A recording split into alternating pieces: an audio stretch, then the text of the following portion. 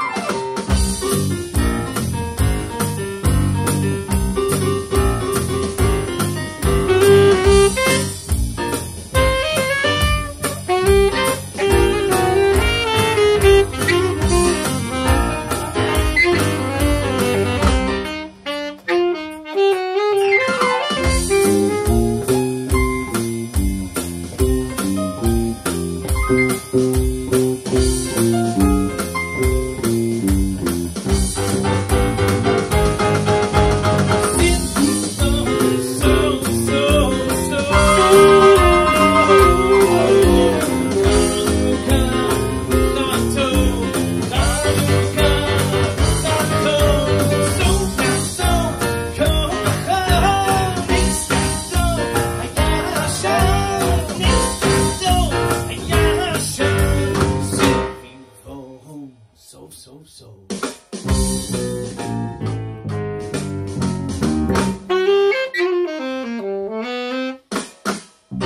kinda from the Shula Rock and Jews for Judaism. Yeah.